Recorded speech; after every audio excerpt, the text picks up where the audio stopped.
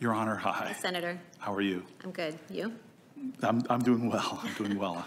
I'm sure that, that part of that smile is the fact that I'm the second to last uh, Democrat. Um, I, I just want to jump right in because I actually found um, some of your responses to Senator Hirono are really compelling around the public charge issue and that you sent, um, you dissented in the case. And, and if I could read it, um, uh, you wrote that at the bottom, the plaintiff's objections reflect disagreement with the policy choice and even the statutory exclusion itself. Litigation is not the vehicle for resolving policy disputes because I think the DHS's definition is a rational interpretation of the statutory term public charge. But, but you were saying to her, which I really found compelling, that that you were still leaving the door open for it to be capricious. Was that the word you used? Um, Yes, so the standard of review under the Administrative Procedure Act would be arbitrary and capricious. So I said at the conclusion of the dissent, um, because the majority reached both, I said at the conclusion of the dissent that I wasn't resolving that issue because it hadn't been briefed before us, but I just wasn't expressing an opinion. I thought we needed a fuller record. So I did leave open the possibility that the rule would nonetheless be arbitrary and capricious. Yeah, as I said to you on, on our phone conversation, trying to read all of your cases, uh, it has been a Herculean task, as has probably yours, preparing uh, for this so quickly. Um, and so I, I, maybe I can just go back to asking a, a, a, just a simple question that I hope you'll feel comfortable asking. It's just uh, what I think is an obvious answer again. Um, but do you think it's wrong to separate children from their parents to deter immigrants from coming to the United States? Well, Senator Booker, that's been a matter of policy debate, and, you know, obviously, that's a matter of hot political debate in which I can't express a view or be drawn into as a judge. So I, I, I respect that a lot, but I think the underlying question is actually not hotly debated, and, and just maybe I'll answer it, ask it one more time. Do you think it's wrong to separate a child from their parent, not for the safety of the child or parent, but to send a message? Uh, as a human being, do you believe that that's wrong?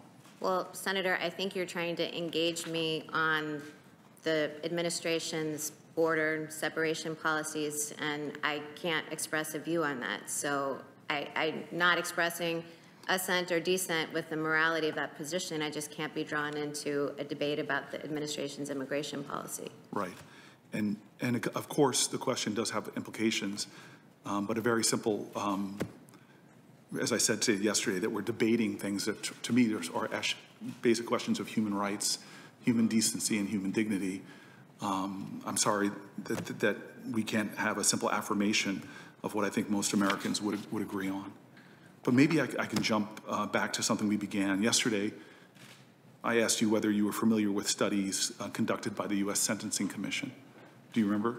Um, yes, I said I was generally aware. Are you talking about when we talked about systemic or yes. implicit bias yes. and systemic racism? Yes. I'm generally aware that there have been studies right. done. And so the U.S. Sentencing Commission provides non-binding federal uh, guidelines to federal judges, right. uh, which showed that some of the racial disparities in our criminal justice system, they talk about that considerably. And my colleagues and I on both sides of the aisle, as we worked on criminal justice reform, discussed a lot of them. And some of those, as I discussed yesterday, were examples that federal prosecutors are more likely to charge black defendants who carry with offenses that carry harsh mandatory minimum sentences uh, they're more likely to charge black, offend, uh, uh, black uh, defendants than similarly situated white defendants. And black defendants were subject to three strikes laws, uh, sentencing enhancements at a significantly higher rate than white defendants, uh, which on average actually added 10 years to their sentence, a significant surrender or seizing of, of liberty. And you said you were not familiar with th that particular study, as you just reaffirmed, or the facts that they cite in the study showing that interracial bias is present in our system. Um, and you know, I think in our discussion, I think it came out that you know that these issues of bias in our criminal justice system are manifest uh, really in many different aspects of the system, uh, from police misconduct, uh, unlawful use of force, uh, to prosecutor bias, sentencing disparities. disparities. These, are, these are wide and vast areas uh, that have been shown to have such implicit racial bias evident in them. Um, and this year, clearly, um, we've been grappling as a nation with a lot of these issues. uh, and it is a part of our long-standing history. You cannot divorce the role of judges uh, in our history over these some 200 years and how race has been a persistent part of the national narrative, grappling with deep issues of bigotry and bias, overt uh, as well as uh, the biases that exist. We know that many uh, of the unjust deaths of unarmed African Americans at the hands of law enforcement have brought this even more into public, uh, into, more into public concern. And so I just want to ask you, and maybe give you a, more of a chance to discuss. Um, I understand that you weren't aware of specific studies I cited, which are central to the important work of the U.S. Sentencing Commission, which advises federal judges or, or pro- provides recommendations to federal judges. So I just want to give you an opportunity today to share what studies, articles, books, law review articles, or commentary you have read uh, regarding racial disparities present in our criminal justice system. Um, Well, Senator, as you know, the sentencing guidelines uh, do give judges guidance on imposing sentences, and so I am familiar with the sentencing guidelines because there's something when we review sentences that, you know, we need to draw on and apply. In addition to the sentencing guidelines, the Sentencing Commission, as you say, um, does issue studies, or, you know, sometimes we get things from the Federal Judicial Center that talk about it. It's not something, I'm certainly aware of it. I think it's kind of an obvious point that there's Right, still but, racism, but but I forgive me for interrupting, and I'm especially No, concerned that's- because that's- of that's. Joni Ernst, who's been teaching me about Iowa, and I do not want to her mad.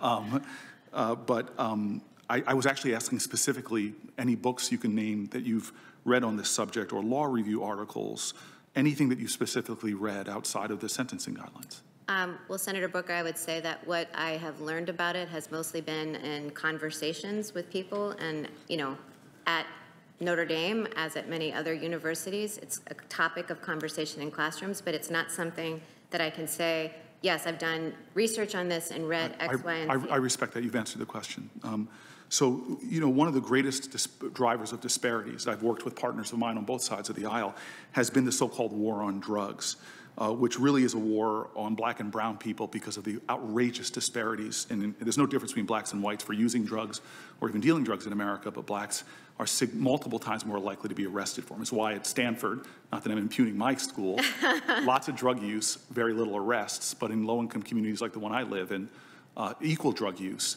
but much more arrests. Uh, one of the most tragic examples of this, again, partnership on both sides of the aisle, uh, was about the crack powder cocaine disparities, which imposed such harsh, unbalanced penalties for cocaine relative to powder cocaine, uh, that someone caught with a amount of crack cocaine the size of a candy bar uh, would get a roughly uh, the same sentence as someone caught with a briefcase full of, of powdered cocaine. Um, This is a a wildly unjust part. When the Sentencing Commission wrote an amendment to the address to address some of the disparities and made it retroactive to 2008, you actually wrote a law review article um, uh, in a well-known legal academic, uh, uh, uh, uh, um, not a law review article, excuse me, you wrote a blog post uh, in a, in a well-known legal academic that cited um, this decision, and you questioned whether that was a wise call. Now, in fairness, as I reread it today, you raised the administrative hurdles uh, in retroactively reducing sentences, which would provide relief to actually an estimated 20,000 Americans who had their liberty, one of the most fundamental rights, taken away from them. And, but never in the blog article did you mention that this was unjust. There was no deference to how serious this is for the 20,000 Americans, 98% of them who are black and brown. You just questioned, why are we doing this? Um, could you ask, tell me why?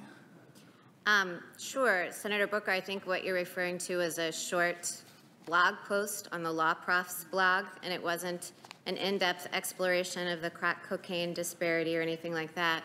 It was simply pointing out the administrative hurdles because my husband was an AUSA, federal prosecutor at the time, and that had been table talk at our house, just kind of the complexities of retroactively going back. So it wasn't a policy statement and it wasn't a statement meant to be just. I don't think it was probably more than a paragraph. Um, and it was simply identifying the administrative hurdles because they're clearly, whenever you apply retroactive reform, there are administrative hurdles going forward. Well, you're, you're a law professor who assigns lots of syllabus to just a guy like me who played football. This is a long article, a couple pages worth. And uh, I'm, I'm one, I'm wondering, Blog post was? I, I- have it here um, in font that my old eyes can't read without Okay, glasses. my old eyes can't see it from here either. I, I, I don't have a memory of how long it was. I guess I'm just saying that you, you, you, you're, you're not citing articles or research that you've read on this issue, yet you have written here about it. And to me, that speaks, it makes me wonder and want to talk to you a little bit about uh, your preparedness and priorities, taking the highest office in the judicial world that deals with such long-standing issues uh, of, of race and, and in a way that affects the totality of the lives uh, of, of, of Americans in every aspect of their life, from their financial well-being uh, to their rights to vote. And I'd like to go through as quickly as I can in my remaining 10 minutes um, a, a little bit about the, the vastness of this problem uh, and, and why I'm very concerned um, that you haven't even cited a- anything that you've read that would that would speak to this, or, or the ri- only writings I could find on it don't even talk to the, to the injustice of it all. And so you had a conversation with uh, Senator Klobuchar about voting, and I, and I, I just want to know, have you ever waited five hours to vote? I have not. Have you ever waited over an hour even? I have not. Yeah. Well, in Wisconsin, a state in your circuit, we saw the travesty during the primary earlier this year, during a pandemic, that many polling places were closed and lines uh, were, were incredibly long. In, in Milwaukee, a city of more than half a million people, located in a county with 70% of that state's black population, um, uh, uh, we literally saw out of uh, the city's 180 polling places, only five were open pushing people into hours and hours long wait. Now, comparatively, 66 polling places were open in the city of Madison, a predominantly white city, half the size of Milwaukee. And the U.S. Supreme Court made this all worse with a ruling that, that restricted mail in voting at the last minute during a pandemic where black Americans are dying at twice the rate of white Americans. And let's be clear, this is part of a nationwide problem with racial disparities in voting. A recent study found that residents of entirely black neighborhoods wait almost 30% longer in lines to vote. And they were 74% more likely to spend more than that half an hour at the polling place. Now, your dissent in Kanter versus Barr, you said something about virtue based restrictions, which really raised my concern. Um, and, and that virtue based restrictions have applied to civic rights like voting and jury service, uh, not individual rights to possess a gun. This approach to the franchise sort of pulls up a lot of history where people used virtue based restrictions in the past that's been very well documented, documented in our history. Uh, ideas that you can disenfranchise people if they don't meet certain virtue tests. And many of these tests I know you're, you're aware of, but these are like uh, are you worthy enough if you can't say the whole uh, um, Declaration of Independence? Uh, these are tests that John Lewis used to talk about. Can you count the bubbles in a bar of soap? You're, you're familiar with that, I'm sure. Senator, I want to be very clear, and we went, I tried to clear this up yesterday.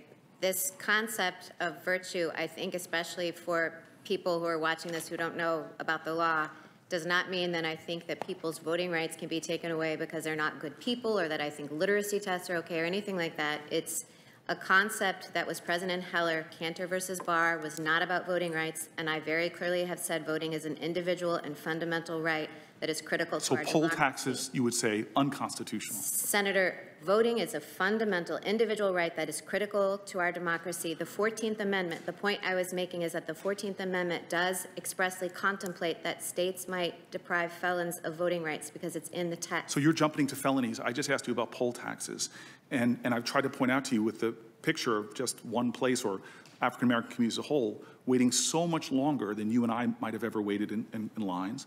I'm trying to draw something here for you. So I just asked about poll taxes. Didn't get to felony disenfranchisement yet. Poll taxes unconstitutional, yes? Okay, I was pointing out with the felony disenfranchisement, the point I was making in Kanter versus Barr. I wasn't trying to anticipate your questions. I was just saying that that was the context in which I discussed it. I think Section 2 of the Voting Rights Act, which prohibits procedures and practices, Right, right. I, I, I poll think that- taxes Thank full. you. Yeah, thank you very much. Thank you very much. You're jumping ahead, and I spent so much time on my questioning. um, so, so let's jump though. Let's jump. Let's jump ahead to, to, to this, and obviously the case in Florida that you're well aware of, I imagine, where um, where we had uh, significant uh, felony disenfranchisement. I've read a lot about the history of that going back to the post-Civil War period, uh, uh the fall of Reconstruction, uh, thousands of blacks being lynched, uh, massacres going on in our country from the Colfax massacre to the Greenwood massacre, and laws being passed systematically in places to try to make it harder for blacks to vote, designing felony disenfranchisement laws uh, and, and, putting those aside of the black codes, easy to disenfranchise lots of African Americans. So this is a lot of the historical origin here. Now, we see this coming to the fact that now we have places like Florida, and by the way, there are people, there are levels of uh, disenfranchisement for African Americans, upwards of, I think in America, one in every 17 blacks uh, are, are, unable to vote because of felony disenfranchisement. I can see by your expression that's a surprising data point. I, I, I hope that you would look at that. And yet in Florida, about 774,000 people uh, have completed their felony sentences, are now being prevented from voting because they still owe fines and fees. These are Americans, disproportionately black, are being subject to a modern day tax. In other words, if I'm wealthy enough, I can pay that. If I'm African American, disproportionately poor, um, I can't do that. One in five black people in Florida couldn't vote because of felony disenfranchisement. Now, this is well documented history. I've gone through some of it. But as you are seeking this highest office in the land, um, I, I, bring this full circle of our conversation because, again, another study by the American Bar Association, um, which I recommend to you, shows that a person with a felony commitment in America is subject to, to 40,000 collateral consequences. In other words, we now have in America the war on marijuana. It's affected, uh, in 2017, there were more possession of marijuana arrests in America than all the violent crime arrests combined overwhelmingly and disproportionately African American people. Saw it used at Yale and Stanford, not at Notre Dame, just played them in football. But, but, but my point is, is you see that if a black person is not more likely to use marijuana, but they're more likely to be convicted of a felony for it at some three to four times the rate, I hope you can see that that means that they're going to be more likely to lose other liberties, other rights. It so deeply affects their lives, their voting life, their ability to raise their children when a parent has been put in a position where now, because of that felony conviction, for doing things that two of the last three presidents admitted to doing. They now can't vote, they now can't get jobs, they now can't get many business licenses. This is such a deeply affecting system that is, is, is disproportionately harming one class of citizens based upon race. And so here we are in the midst of a, and I return to the not normalcy of this moment in American history, where Uh, you can't turn on the TV and watch basketball without courageous athletes trying to talk to the heart of America to say, please listen. Please listen. The system is endangering lives, taking away liberty, taking away your financial well being, taking you away from your children. There are people marched in all 50 states, 18 other countries, because African Americans, when they're jogging, sleeping in their home, are being killed. And we have a nation now where we're doing a Supreme Court justice hearing, the last days of an ongoing election, to a president that can't even condemn white supremacy,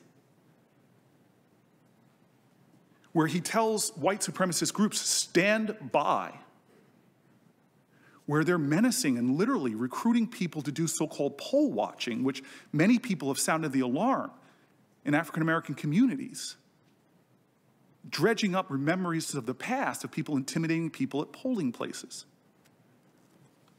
people protesting in our country, all leading into an election where this issue and Roe v. Wade and people's health care all is going to be on the ballot, but yet we're sitting here acting like this is normal.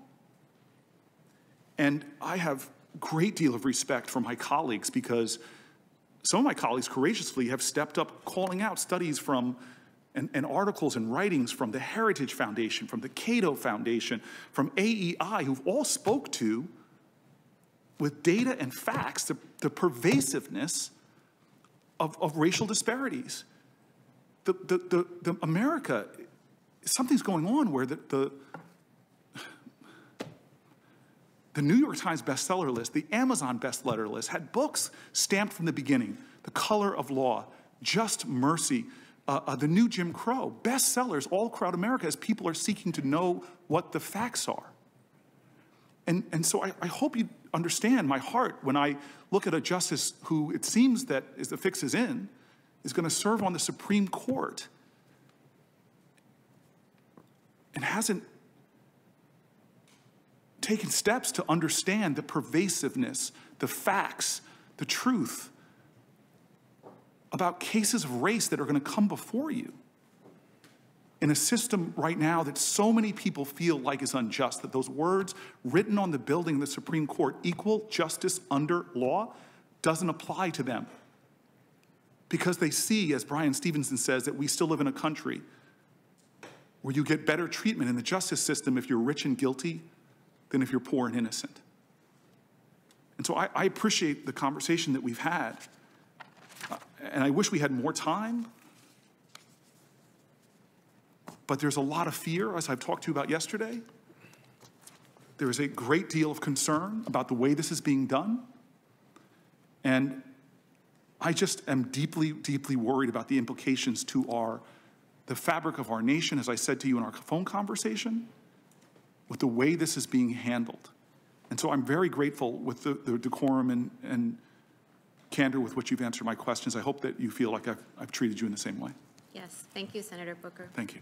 Thank you, Senator. Senator Crapo. Oh, I'm sorry. My staff is just telling me I should have, I should have said this. Without objection, whatever it is, You and the justice are both trying to jump ahead of whatever it is. I, I- I- I appreciate you, Mr. Senator, and the work that you and I Thank you very much. have done. Uh, So I would like to ask unanimous consent to enter into uh, the record the following three letters into the record. A letter from the Leadership Conference on Civil and Human Rights opposing Justice Barrett's nomination to the Supreme Court. A letter from 83 young people organizations opposing the nomination of Judge Barrett to sit on the Supreme Court. A letter from LGBTQ advocacy groups opposing any nomination where reasonable doubts exist on her ability to administer fair and impartial justice for uh, the LGBTQ people. Thank you. Thank you. Without objection. Senator Crapo.